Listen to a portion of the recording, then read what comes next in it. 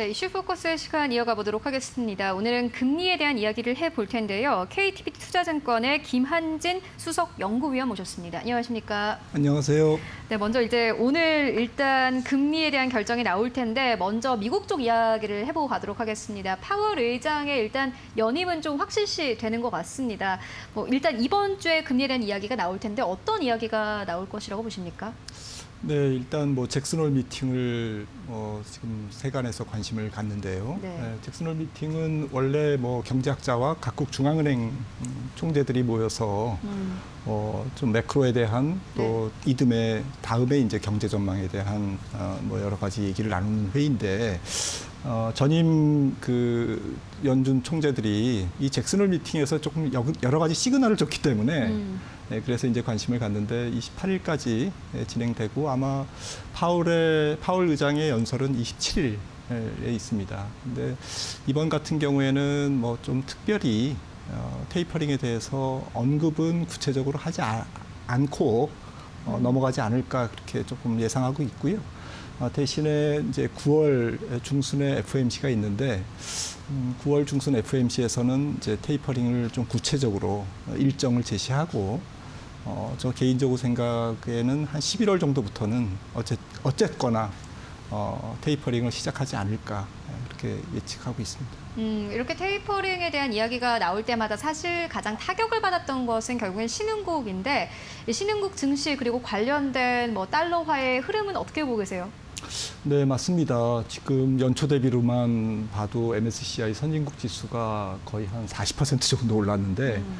어, 신흥국 증시는 거의 제자리거든요. 네, 네. 그래서 음, 여러 가지 이제 통화 긴축 기간에 어, 그 자금이 fund flow가 어, 좀 선진국에서 어, 신흥국으로 어, 조금 무게 중심이 올- 옮겨가는 신흥국에서 선진국으로 옮겨가고 신흥국에서는 좀 자금이 빠져나가는 이제 그런 현상들이 에, 과거에도 있어 왔습니다.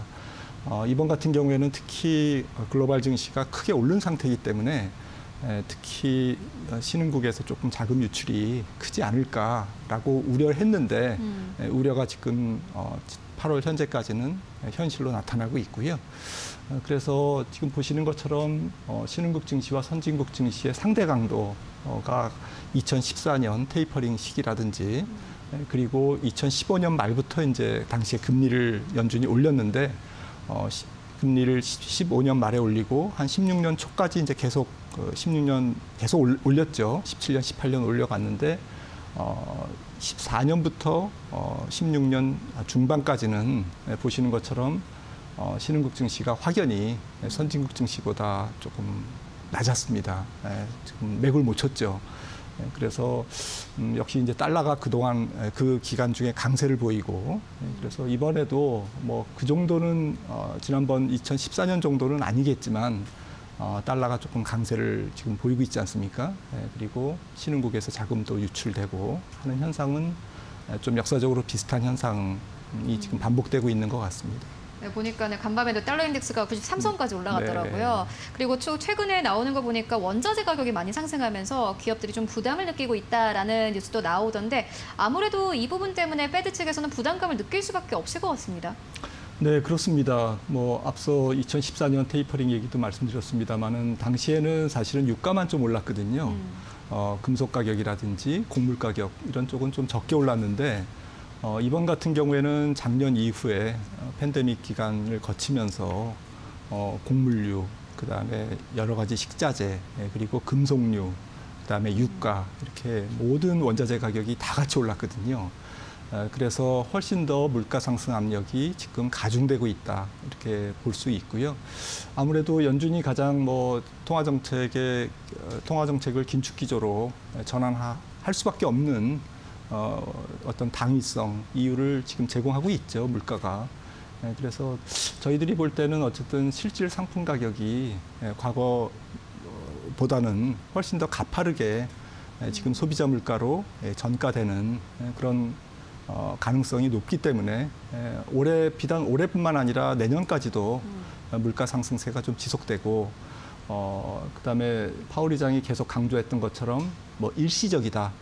어, 하, 하지만 어, 일시적이지 않을 경우에는 어, 7월 FMC 의사록에도 어, 또 어, 모두 발언에도 파월 의장이 밝혔습니다마는 어, 만약에 인플레이션이 일시적인 어, 현상이 아니라면 통화 정책을 변경할 수 있다라는 어떤 그 좀 유연성을 어, 표현했거든요. 예, 그래서 아무래도 어, 금리 인상, 통화 긴축은 예, 조금 어, 시계가 좀 빨라지는 예, 그런 어, 느끼, 느낌을 지금 주고 있습니다. 네, 뭐 피하고 싶다고 해서 피할 수 있는 게 아니다. 사실 이렇게 봐야 될 것 같습니다. 그렇다면은 오늘 또 이제 한국의 금융통화위원회도 열리게 되는데 지금 9시 37분 지나가고 있는데 보통 뭐 10시쯤 되면은 결정이 네, 나오더라고요. 네. 오늘 또 어떤 결정들, 사실 결정보다 중요한 건 어떤 발언이 나올지일 것 같은데 네. 오늘 어떻게 보고 계세요? 네, 오늘 뭐 결정도 중요한데요. 어, 사실 지금 박빙입니다. 음. 예, 좀 나와봐야 알겠는데 어, 시장의 컨센서스는 뭐 좀 8월 오늘 금, 어, 금통위에서는 조금 뭐 일단 동결하고 넘어가지 않을까. 어. 아, 왜냐- 왜냐하면 뭐 델타 버- 변이 바이러스도 있고 음.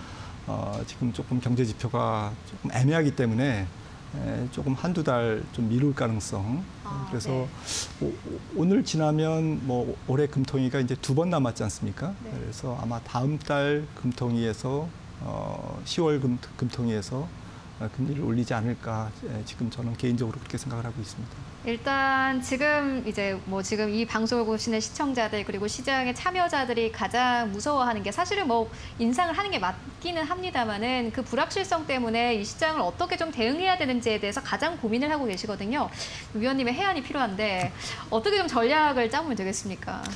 네, 좀 올해 전체적인 주식 시장은 뭐 연말까지 뭐 얼마 안 남았습니다만은 예, 조금 계속 우여곡절, 약간 음. 높은 변동성, 음, 예, 그리고 기대보다는 어, 조금 비탄력적인 탄력이 음. 약간 약한 음, 어, 그런 어, 흐름을 보일 것 같고요. 어, 전체적으로 주식시장이 본격적인 약세장 하강 국면으로 어, 들어갈 거냐 말 거냐에 대한 논의는 조금 더 미루, 미뤄도 될 것 같습니다. 어, 올해까지는 어쨌든 주식시장이 좌충우돌 우여곡절 음. 네, 뭐 아, 아주 그냥 뭐 스마트하게 올라가는 건 아니지만 그렇다고 어, 완전히 뭐 좀 꼬꾸라지는 어떤 하락을 보일 가능성도 좀 낮아 보이고요. 에, 그래서 전체적으로는 뭐 경기 에, 그리고 어, 또 바이러스 어, 델타 변이 바이러스 에, 그리고 통화 긴축 이러한 부담적 부담이 되는 요인들에 에, 주식시장이 좀 파인튜닝 음. 여러 가지 좀 가격 조정을 조금 거치면서 좀 내성을 키워가는 그러한 국면이기 때문에 어, 전체적으로는 뭐 조금 종목 중심으로 대응을 해야 되지 않을까. 에, 음. 상승 종목 수가 굉장히 확연히 줄어드는 아, 에, 그러한 기간이 되지 않을까 싶고요.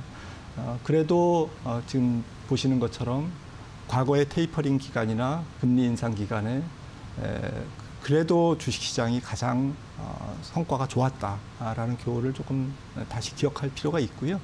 어, 원자재 같은 경우나 또 혹은 원자재 관련주는 어, 사실은 지금 많이 올라 있거든요. 네. valuation 대비. 네. 예, 그래서 오히려 어, 주식시장이 commodity보다는 음. 원자재 시장보다는 에, 조금 아웃퍼폼 수익률이 좋을 가능성을 높게 에, 이렇게 염두에 두고 대응하시면 좋겠습니다. 어, 그런데 지금 보니까 많은 분들이 원자재 가격이 더 올라갈 것이다 해서 그쪽으로 관심을 두고 계신 분도 있는데 일단 위원님께서는 그쪽은 아니다 이렇게 보시는 거죠. 네, 원자재가 고공에서 머물 가능성은 있지만 음. 에, 투자 자산으로서의 매력은 에, 조금 어, 둔화되는 것이 아닌가라는 취지로 말씀드렸습니다. 더 올라갈 수 있는 가능성은 일단 낮고 네. 그렇다면은 좀 섹터별로 봤을 때 뭐 아까 전에 이미 말씀을 해주셨다시피 이슈별로 움직일 가능성은 높겠지만은 사실 그 이슈 를 다 알기는 굉장히 힘들지 않습니까? 맞습니다. 그러니까 이제 섹터별로 좀 봐야 될 것 같은데 그렇다면은 섹터별로 좀 나눠 보자면은 시청자분들이 어떤 섹터에 좀 관심을 두는 게 좋을까요? 네, 아까 뭐 차트에서도 좀 보여드렸습니다만은 뭐 똑같이 진행된다라는 보장은 없지만 음. 에, 그래도 과거에 금리 인상에도 불구하고 성장주, 기술주가 가장 아웃퍼폼 수익률이 좋았다라는 어, 그러한 얘기인데요. 에, 이번에도 어쨌든 산업 구조가 아, 또 팬데믹 기간을 거치면서 훨씬 더 e- e-commerce라든지 아, 또 플랫폼 기업들의 경쟁력이 좋아졌기 때문에 네. 또 valuation도 상대적으로 에, 그렇게 비싸지 않기 때문에 에, 저는 한 10월 정도에 반도체 정, 반도체 경기에 대한 불확실성이 좀 거치면 어, 연말에 가까울수록 IT 쪽이 조금 선방할 수 있, 지 않을까 싶고요. 아무래도 경기 확장기이기 때문에 단가 상승을 높여주는 높일 수 있는 소위 ASP가 높아질 가능성이 높은 그러한 소비재, 음. 재량 소비재, 내구재 이런 쪽에 좀 초점을 둘 거, 두면 좋을 것 같고 금리 인상 기간인 만큼 역시 금융주, 은행주에도 조금 관심을 갖는 게 좋지 않을까라는 조언드립니다. 네, 알겠습니다. 네, 오늘은 KTB 투자증권의 김한진 수석 연구위원과 함께 이야기 나눠봤습니다. 고맙습니다.